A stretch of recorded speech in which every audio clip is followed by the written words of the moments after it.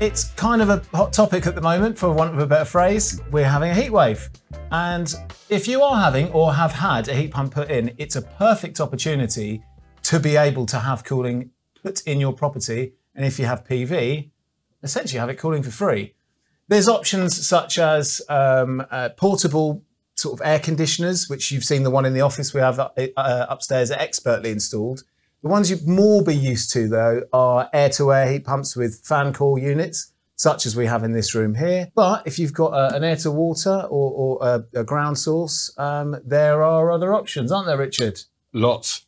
So, um, I mean, I think I could probably just, I pulled back the string, I'll probably just let you go now.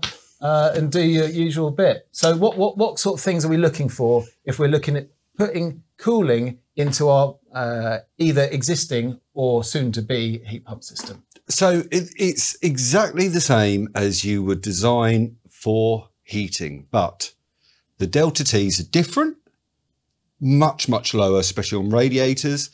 Um, and the gains, as opposed to the losses, are calculated differently. So instead of we're looking at the worst day of the year when we're designing for a heating system, no sun, it's minus three, it bathroom extractors are on, the whole house is filled.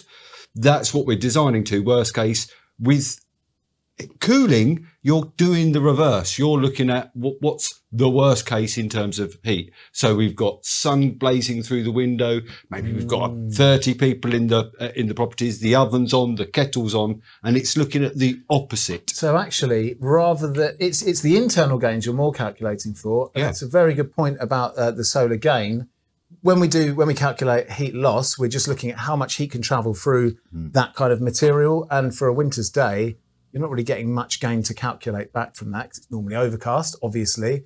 Uh, we're not calculating how much heat necessarily moves through the fabric of the building. It's how much is streaming in through your window. Mm. Very good point I hadn't thought of. So um, the the U values are still used, but there's um, extras on gain. So you're looking at solar gain, which you don't take into account when you do heating for obvious reasons, because you want it to heat in the evening. Um, and um, you're not taking into account kettles and, and, ovens and stuff like that, which they all, depends how deep you go, but they all kind of look at. So they're looking to cool in the worst case, and we need the same thing. We need an appliance, a boiler, but the reverse of, and we need an emitter. Because the delta T's are smaller, so we, we're, we're working with temperatures with a heat pump typically at lowest around six or seven degrees, and we're looking at air temperatures of 30 degrees. When you just look at those two snapshots there, we've got a 34, 30 degree difference, 25 degree difference. When we're looking at heating, we're looking at a boiler that's 80 degrees, we're looking at minus three. We've got a lot more power, power range there. So the, the principles are identical. We need the emitter. Actually, it's a collector, if you want to get technical, because we're extracting heat uh, and we're looking at the overall power. Mm.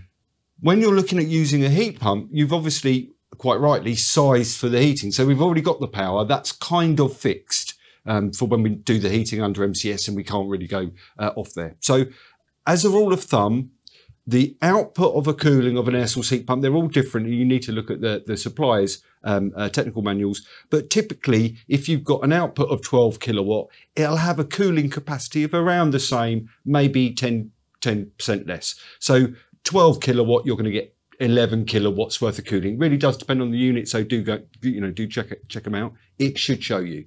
So there's our power 12 kilowatts of cooling. Is that enough? And that is what we need to establish before we can design the heat emitters. So unlike with the heat loss, we are sizing each room to get the size of the heat pump. With cooling, that's a fixed point. We've done that. So now we want to see where we can best use that power around the house, preferably in the rooms that need it the most. I would suggest these are probably bedrooms and your main living area. So we've got the power. We could distribute all, of that to one room, but you need the heat emitters to be able to emit that uh, same amount of power uh, in order for that full 10 kilowatts, for example, to be effective in that room. The problem is that again, where we're designing for heating, we've already designed the heat emitters and the radiators. So again, we've got a fixed point, and that fixed point, to give you an understanding, is typically 30 to 40 percent of the output of that radiator in heating mode. So if, for example, you've got uh, um, an air source heat pump with a radiator on it, and that radiator is outputting a kilowatt at a delta T of 20, in cooling, you're probably going to get a delta T overall of about six or seven, and you're actually that output is going to reduce further. So you actually could end up with a three kilowatt at delta T of 50, a three kilowatt rated radiator on cooling, actually that'll only give out 300 watts. So you're you are dictated a bit by the existing infrastructure. You can change it. So, um, just to clarify, kind of what Richard said there, when we do heating, we've got a flow temperature of uh, let's just say our flow temperature is 50 degrees, um, uh, and the air temperature in the room is 20. That's a delta T of 30 between the emitter and the room. With cooling, we can't have quite as low flow temperatures uh, as we need. So the delta T is more like, um, as I say, if we want 20 in the room, it might be 14 degree Yes. delta T. So, and the reason for that is, so what's what's our limits for the for the flow temperature on cooling? Um, well, the, typically air source heat pumps are limited down to about seven degrees. Why? Because water starts freezing. So um, because the, the medium is is um, water. And what what about? Do you know if that changes if we use glycol? I do know. I've never seen heat pumps typically go down to six or seven degrees that I've seen. You'd have to read the technical uh, uh, manual. I suppose with glycol that would improve, but you're kind of Well, we don't like glycol obviously No. because it reduces the spe- specific heat capacity Correct. as our heat geeks know. Uh, so yeah, um, and you'll uh, have the same issue with cooling. So Yeah. the the it can all be covered by the heat emitter. Yes, Yes. ideally you want that as low as possible. You've got to be aware of uh, the dew point, otherwise you'll create condensation. Yeah, this part's key, isn't it, to the whole thing? Really important, yeah. So if if the dew point, it obviously changes depending on the temperature of the air and the temperature of the material of the, of the and water, the- the difference. Humidity in the and the humidity as well. So greater humidity, great temperature, you're going to have really low dew point, um, or sorry, really high dew point in terms of temperature. Um, if there's really low humidity, actually, you know, you can get that temperature a little bit lower. So today, having a check 27, 28 degrees outside, um, pretty low humidity, the dew point is about nine degrees today that could literally change in three hours, right? So you you can't, to my knowledge, I I don't know anyone who does a dew point set yeah, controller. yeah, Um, so you're you're you're kind of better off, in my my view, is one to give the consumer let them adjust the temperature. It's not that difficult, right? It's Mm. the no- flow temperature. the flow temperature. Yeah. Mm. So they can measure it and ensuring they're always getting low. That's a bit manual. If I was setting it, I would set it typically to around 14, 15 degrees. just to be sure you're above Just to that. be sure. And I don't want, if I know if I get, hold on, there's a bit of water, my view would be, yeah, it was 36 degrees So, today. So, just to clarify this, what, what he's talking about is the water droplets that form on cold surfaces, like when you put a bottle of water in the fridge, you, you, you know, you get it out, it's got little water droplets on it. If you get those water droplets in your cold pipes running around your floor, you're going to get little leaks on the ceiling. Uh, if you're doing a retrofit, it's unlikely you pulled up all the floorboards and insulated all of those pipes and then put a, a water vapor barrier uh, or a vapor barrier around that, that insulation. So we need to make sure we don't get um, uh, condensation appearing in those pipes and on the radiators. You're going to get end up with wet carpets underneath. I mean, the radiators will probably be a pretty good clue if you've got it on the uh, on the pipework. And if you only see it just appearing, it's unlikely to be dropping, uh, forming water droplets. But this is sort of key to understand and to inform consumers about, because otherwise you could end up in uh, hot water, as per se. but it's with underfloor, it's easy. You are you're set by the, the the the floor anyway, which is typically 18 to 20 degrees is the maximum. So the maximum flow, really, you're going to be putting around your underfloor is going to be above the dew point. So, uh, what what, uh, what sets the maximum for underfloor? Well, sorry, the minimum flow temperature on the floor. again the dew the dew point does but you'll find that manufacturing floor coverings will have a minimum as well Right.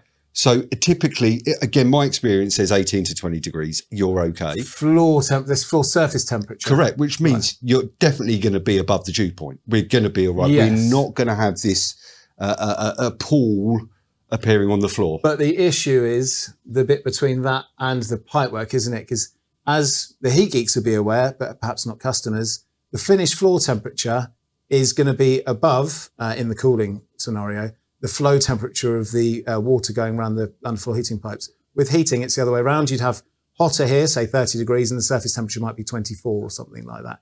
This is working the other way around. So the issue you have there is, which I'm sure Richard about to explain anyways, you've got very cold water here, uh, and then a, a, high enough temperature here, your dew point could be in the floor and creating mold, right? Is it that- could, it could, yeah, it could. So you, we want to keep that dew point right, uh, normally I would set for underfloor around 14 degrees. You're, you, you, know, you might get it on some day, but I mean, it's going to be a really Yeah. bad day. Yeah. Um, you know, the floor temperature is going to hit about 18, 20 degrees, six, six degree difference, roughly speaking. Um, and you know, if the air temperature's like it is here, 26, 27 degrees, you've got a delta T there of floor temperature, you know, it's okay. You're going to get about 40, 50% of the output in heating, you're going to get it in cooling. So if it's a three kilowatt output on the floor, you're going to get one and a half kilowatts. There's a lot of variables there because you've got the thickness of the floor makeup, what's going on top, and how it's constructed together, and how humid it is that day, and your flow temperature. So the only way to do that safely is to guess high, a higher flow temperature. Which I would always do. which yeah. is why it's kind of it's not target as Richard will say or is saying it's not target temperaturing.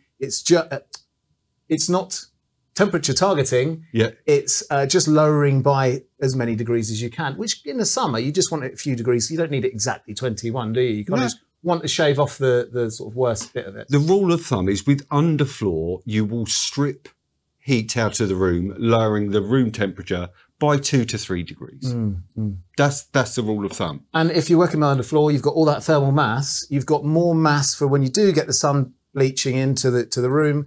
Uh, you've got more mass to kind of absorb that that energy without resulting in a room spike and uncomfortability. I think what it also does, which so uh, a lot of um, new builds, especially with exterior insulation, um, and as they all do with th- this large glazing over, overlooking the south, it's like the you know looks ideal. Have these massive windows overlooking the the fields at the south, and don't realise that in the summer you're you're going to roast. So with that and you have external insulation, what happens is is the sun is beating in all day and it will just raise that room temperature to, to 30 degrees plus. Then overnight, when you are opening things up, opening windows and trying to get that cool, you've basically created a a massive storage radiator in your floors and and, and your um, uh, walls, and it is just emitting overnight. You wake up in the morning after it's been 18 degrees, 16, 18 degrees overnight. You wake up in the morning and it's 26 degrees in the house, and the new day and the new day is dawned. And So It starts on- all over on again. On this exact point, there's actually some free things that most people could and should do before we even get to this point, which is how you use the system. In the winter, you don't open your windows because you want to keep the heat in. Likewise, your behavior in the summer should be if you've got a south facing building uh, or, or east or west, uh, you close your curtains when you know the sun's going to be there and stop that heat coming in the first place, just as you keep the windows shut in the winter. So behavioural change is obviously your first port of call, uh, less carbon usage uh, and energy saved. I, I think uh, yeah, or they're, all sensible, all sensible things. But but the most sensible thing is if you've got concerns of overheating, and I think this is a bit more for large renovations, and it's for new builds where you've got the plan set out, you haven't lived in the property uh, as it's going to be. If you've got large windows facing south and high insulation, there is a good chance that this is gonna this is gonna overheat. On average, no. If you look at the SAP report, I'm sure it looked fine. But again, that isn't looking at design. That's looking at an average, taking into Yeah. account evening temperatures. And you don't want nice thick curtains over your lovely big bifolds you've just installed. No, no, but these are things they're doing. So they're they're um, building um, I've got it. blinds, right? And you, then you have the the pergola or the or, Yeah. you know the the shading mean. over over the back, which is just restricted the view. You've just spent tens, if not hundreds of thousands of pounds to create. So it does seem counterintuitive. So what I would recommend is if you're doing a new build or self build and you've got a large property, and do be concerned if there's large glazing it's south facing. Um, my view would be to get an aircon specialist in to run the calcs as we would for heat loss, but in, in reverse. They don't go into the depths. They can. The, the, the design software's out there. They don't go into the depths we do actually for a CIBSE guide heat loss, but they're more aligned to kind of a gas boiler sizing, put a bit bigger in, but they have got really good rules of thumbs, no different than we have. So once you've established, right, this room here needs eight kilowatts, you've know that you need a 12 kilowatt for your heating. So we've got the power there to do it. Actually, it's about the heat emitters in that room. You think, well, I've got underfloor, that will do a kilowatt and a half. Mm. Okay, but I still need six kilowatts. How can I do that? Well, the, the, the air source heat pump can do it. We've now just got to add emitters.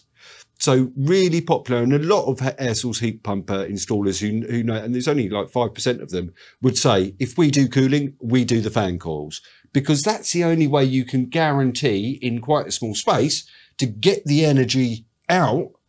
You can insulate the pipes, so you can get them down to sort of the six seven degree mark, and one fan unit will do two kilowatts worth so of wall, wall mounted fan coils, or are you talking about convector radiators? Both. Or either of those? They're basically the same thing, right? Anyway. Right, yeah. But exactly. people are more used to seeing fan, uh, convector radiators anyway. Correct. But what, again, if you're doing a new build, mm. then you say, well, hold on, I'm putting radiators upstairs anyway in the bedrooms, typically. Yeah. So you say, well, rather than putting radiators up there, put the fan assisted radiator up there, then that will do your heating fine. Yeah. Actually, probably use half the space you would um, for a normal radiator, and that will do your cooling. And we it's already joined to the heat pump. Mm. The infrastructure is already there. So the cost actually, for example, to bedrooms to add cooling, if you're putting in a heat pump, to add cooling to bedrooms, is actually the cost of a conventional radiator versus a fan assisted radiator. Mm. And actually, it's not. It's a few hundred pound. I mean, well, depends on the size. Just on the uh, as devil's advocate, uh, fan assisted radiator they're not noisy as per se, but they make noise. You know, in a in a sleeping area, might become a bit nuisance. Uh, if you're going to do cooling with them, you have to be aware of uh, the condensate pipe, right? So it collects the condensate, so you can run them at lower temperature. That has to get outside somehow, um, and you have to be putting in uh, additional power supplies at each point so it's another thing to consider. But while you're doing a build, it's going to cost you next to nothing. Uh, uh, uh more uh, all of an issue with a retrofit, right? Rather than a, oh, much more. Yeah, with the retrofit, yeah, there is obviously there's that argument. Is, do, is, do you know if the fans modulate in the? Um, they don't, well, they generally have. It depends on the ones, but they generally have three settings: sort of soft, medium, and low. Right. But we would normally size if I was sizing for a fan radiator to do heating I would size it at the medium fan speed and not the high. Right, uh, because here's where there might be some kind of uh, contention with how HeatGeek would design a system. We would design, so I, I, guess it would modulate depending on whether it needs to achieve the room temperature or, or it's at room temperature. The way we would uh, set that temperature control would be a degree above the um, weather compensated temperature. So it's always going to be on high because we yep. want it full emitter the whole time, uh, full emitter output so we can get the lowest flow temperatures and gain the, uh, the largest SCOP.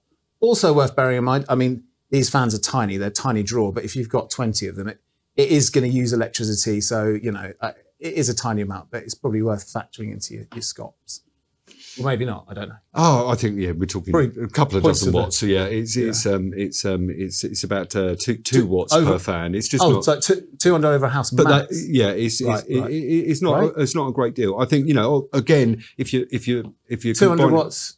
20 uh, six months of the year though 24 7 if you've got continuous weather compensation that's a math sum for another time. Maybe I'll just post a little maths here. You, we, we, we, you it's probably next nothing. Exactly. You're still probably looking at ten pound yeah. a year. And when it comes to right, cooling, right. Um, there is this. You've very, got all those benefits. Yeah, yeah. Um, it's very strange that heating, no one, no one wants to hear a thing, even though all windows are yeah, closed. Yeah. All, when it comes to cooling, people are quite happily go to Spain and be quite happy with the rattly old aircon, sort of shoved half in and out of the window on the sash window, and think it is bliss. It, it, it, I don't understand okay, it. What, one, one more potential contentions again, and mm. this is probably my conservatism, which is unlike me. Uh, what one sort of potential downside is uh, air quality If you've got a dusty room, it could be kicking They all come with air, you know. filters, Adam. I mean, they, Oh, they all- come with filters? They come with Oh, filters. okay, right. So uh, arguably, one could argue It's that cleaner. it's cleaner. Oh, great. Okay. So uh, yes, Good to know. Right. Um, uh, so there is uh, another option. Again, this is kind of um, more energy saving uh, and can work for the summer. So I've got uh, an electric awning at my house. This this is passive design basically. I have an electric awning at my house. I have um, a uh, home automation system, uh, and I have yet to install, which is what I'm going to get uh, Harrison and Matt over to record, my outside temperature sensor uh, and wind sensor, um, and my internal room sensor. So I've got uh, south-facing, very, very big um, uh, bifold doors. If my room is, uh, say, below 20 degrees and I get sun coming in, I don't want my awning out. I want that free heating. That can feed back into my uh, sensor for the. Uh, Sorry, guys. The uh, one of the microphones, or both of our microphones, just cut out. So we've now got this set up. So as I was saying, if the room temperature is uh, below, say, uh, well, let's say my room temperature is set to 21. Yeah. If the room is below 23, I don't. I keep the awning in because I want to, you know, draw in that take the solar that energy, uh, take in the solar energy, uh, and my hopefully my um, my hydrogen boiler will sort of uh, modulate back, run at a lower flow temperature, get a higher efficiency. If the room temperature goes to above 23, and I know that there's sun out because there's a I've got a weather sensor outside which also me- measures wind speed. Awning comes out, and my uh, Velux windows are also on the same I/O system. The Velux windows open, allow cooling in, and prevent the, the heat source from coming in. Oh. So I've got sort of automated cooling and no no kind of um, uh, no energy really used there at all. Uh, so the weather sensor, um, the risk there is uh, we have this running whilst we're um, obviously out at work. The windows don't open up enough to let any sort of burglars or anything. Uh, if the wind picks up, the awning automatically retracts. Um, and the, the the Velux windows can kind of shut down. So there are other things. That's sort of passive house stuff, really. There are other things you can do outside using energy because even if you are generating PV energy, you don't really want to use it all on cooling. You want to charge a car and charge a battery and you know run your oven or whatever else as well, right? Mm, so yeah, yeah. if we can conserve energy, it's always a good thing. Agreed. So that we kind of gave an overall of cooling. Yeah. I know that there's a difference between cooling from a, an air source and cooling from a ground source. Can you just give us a quick kind of overview of the differences? What's better? What's worse? So, so this is the difference between active and passive cooling. So, active cooling, in terms of when we're talking about a heat pump, is whether we're, engaging that compressor. If we're not engaging the compressor, then it's passive. We are just transferring via a pump, uh, fundamentally. So, passive cooling on an air source heat pump is you can't really do. You, if you wanted to passive cool something with a heat pump, switch the heat pump off and open your window, right? That's passive cooling. Um, you can passive cool using a ground source heat pump. And the way we do this is the ground loop or the water loop, we where is actually pretty much here stable all 10, 12 degrees all year round.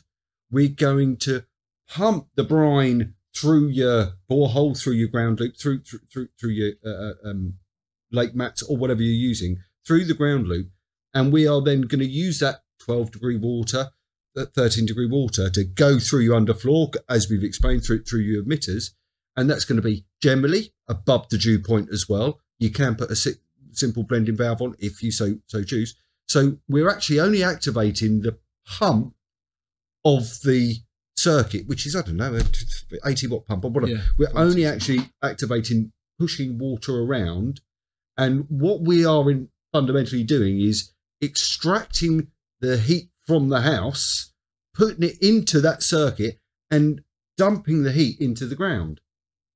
Great for ground source heat pumps because come winter time, we're not starting from a base of 12, 14 degrees, we're starting off a base of 18 degrees, which means over the season we've increased, in effect, our amount of ground array.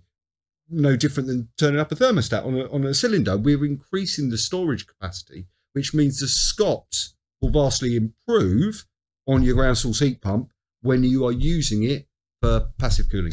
Any idea? Uh, just I'm going to do a simplified version of that. So for, for passive cooling, you're um, running the water that goes through your radiator essentially straight into the ground to cool off in the 12 degree ground, and then it comes back out ground temperature to give you a cool radiator which absorbs the heat or cool Yeah. underfloor heating. Any idea how much if you engage that um, uh, uh, cooling as much as possible? Any idea percentage wise what it might do to your scop roughly? Well, scops from manufacturers are generally worked out based on zero degrees. Mm. What we know from from real life open water is actually we're seeing scops of about half to one more. So I think if we went through, if you went through a borehole, you're going to get slightly better. I believe you're going to get slightly better through a borehole. Um, and I would want to see a 10% increase, 15% increase Yeah. in scop. I would Closed imagine. boreholes. Yeah, closed loop boreholes. The of course water source great for heating because that is pretty much a standard 10 degrees, not Mm. zero degrees all, all, all round. But when you, You dump your heat in it, it, it's off down the river or or, or wherever. So, so you kind of don't need that. You get you give and take there because yeah, yeah, exactly, exactly. There is an argument to say if you're looking at heating and passive cooling with a heat pump, you're actually better to use the ground than you are a lake. Mm. I- I'll Interesting. argue- yeah, yeah. Right, yeah. Uh, but, you know, take from Peter report. But um, so that's the difference between passive. We're not engaging a compressor. So anything using an air source heat pump, it is active because you're creating active cool. You could argue that we're we're, we're unlike aircon where you're kind of punching cold air in. We're more stripping heat out, but um, the effects are the same. So can we have active cooling with uh, ground source? You can have active cooling with ground source as well. Uh, it's quite cost heavy uh, on it because you you've got um, it goes to passive first. So you've got plate heat exchangers, then you've got this four port module that you've got you've got to uh, add on. Um, you can also overheat the ground as well because you're going to have high you know high, higher higher temperatures. Um, and the scops aren't as good as the Vaillant. So what what are you doing all this for? Mm. to have ultimately higher running costs and three times higher capital costs. So uh, what Richard's talking about is that the new air sources that are coming out using the R290 refrigerant, they're already getting ground source kind of scops anyway, so the cost doesn't really work out. Uh, so, but this does save. What we're talking about, this cooling does save, especially for new build or you know high full-on renos renovations. It saves on them getting a cooling contractor in quite often. Yep. So it, it often it saves way more money than it than it costs if they were I, going to get someone I, else I've not personally, I've not seen any aircon domestic unit that is above 10 kilowatt. Our average unit that we put on is a 10 kilowatt. Mm. So we've already got a bigger than average aircon that you'd find in the house already. You've already paid for it. It's already connected. It's just the emitters being the, the kind of It- it is the emitters that you're going to be limited on, and you might need to add some only for the cooling aspect. Uh, but if the if the customer's kind of um, privy and understands what we've said today, they can kind of play around with the flow temperature and maybe you know squeeze some more capacity than forty percent. No different than we've done here. So uh, just another little note on that uh, geeky kind of uh, note. So if you imagine a radiator, perhaps Harrison can put some graphics here. If we lose the uh, the top sort of two inches of uh, water in the radiator, the output that radiator actually dropped by seventy percent. And the reason for that is you can't get full circulation around the top. It just kind of travels along the bottom. You'll get heat em- emitting up here, but because you haven't got flow, you've not got turbulent flow, which increases heat transfer. So uh, likewise with uh, cooling in a radiator, when we're piping bottom to bottom, the cool stays at the bottom. It doesn't really go up and over. So you've not. That's part of the reason, probably for the forty percent. I would say radiators are much less output than ground uh, than underfloor heating, uh, but that's for this reason where you're kind of really just emitting from the bottom loop. Actually, what would be better is top, bottom, opposite end piping arrangement, as our heat geeks know. But then it would have to reverse its flow when we did cooling to work the other way around, Mhm. which all gets a bit mental. So really, cooling is a bit of a fudge. Having said that, how many weeks are we cooling for a year? One, maybe two. Let's just do something to knock a couple of degrees off, rather than saying I need exactly this temperature throughout the year. Uh, um, uh, you know, just something to improve that bit of comfort. Don't think we really need more than I, that. th- I think people. if, if you've got underfloor heating, if you're doing a big big renovation or, or, or a custom build, you, you you're doing underfloor heating of some description in the ground floor. You've got an air source heat pump. You've already got the infrastructure. Yeah. It's it's there. The, the the cost is with Vaillant, it's a chip, uh, a few hundred pounds.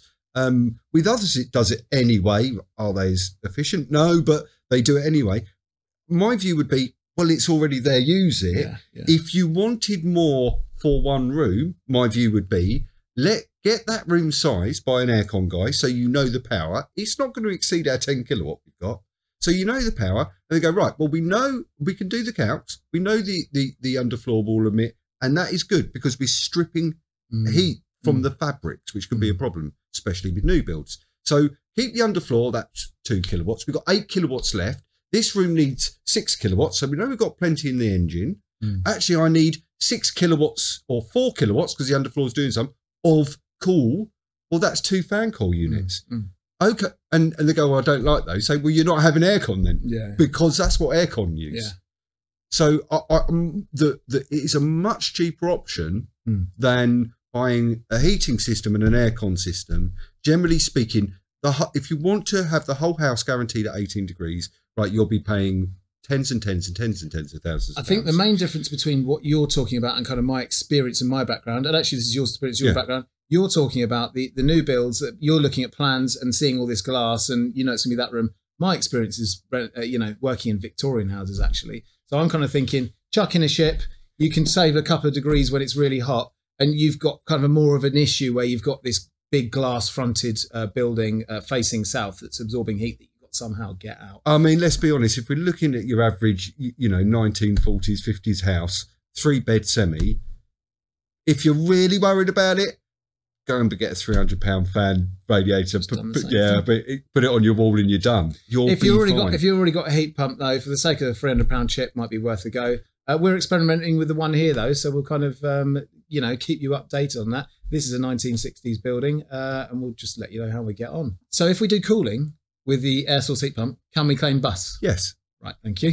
Now your turn.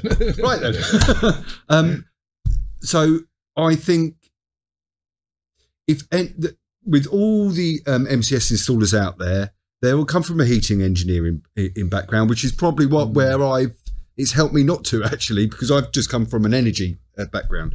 Um, they not many people know how to do cooling. I would say um, with the Heat Geek Assured and going through that process, we've got we're training our guys to do it. We're experimenting here. We're finding real life data, but we're we're able to immediately help those customers who are looking for some cooling. You can again, it's no different from going from an air source heat pump. The thing is, well, you need big radiators, don't you? Truth? No, you don't. Actually, it's not as bad as you you think.